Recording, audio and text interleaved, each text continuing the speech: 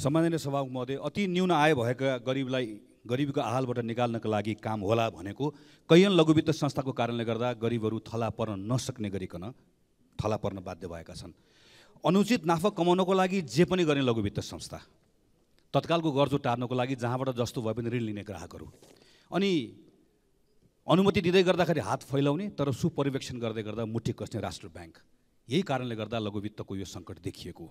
अत साँच्चीकै मर्कामा परेकाहरूको निम्ति राहतका लागि चाहे त्यो सिएसआर फन्ड होस् चाहे त्यो क्लाइन्ट प्रोटेक्सन फन्ड जो ब्याङ्क र वित्तीय संस्थाहरूसँग छ त्यो फन्डको प्रयोग गर्ने बदनियतका साथ काम गर्ने लघुवित्त संस्थाहरूलाई कारवाही गर्ने र एउटा ऋणीले एउटा मात्रै संस्थाबाट ऋण लिन पाउने यो प्रावधान थपेर राष्ट्र ब्याङ्कको निर्देशिकाको प्रभावकारी कार्यान्वयन गर्ने सुपरिवेक्षण गर्ने कामलाई तल्लो तहसम्म लिएर जाने र वित्तीय साक्षरतालाई स्थानीय सरकारको साझेदारीमा तल्लो तहसम्म लिएर जाने यो कामहरू राष्ट्र ब्याङ्कले तत्काल गरोस् भनेर ध्यान आकर्षण गराउन चाहन्छु।